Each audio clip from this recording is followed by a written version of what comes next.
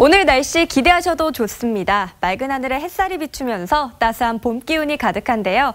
서울의 경우 어제보다 6도나 더 높은 22도를 가리키겠습니다.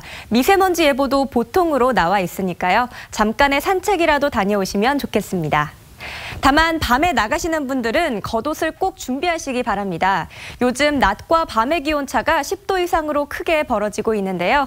큰 일교차에 감기 걸리지 않도록 신경 쓰셔야겠습니다. 날씨였습니다.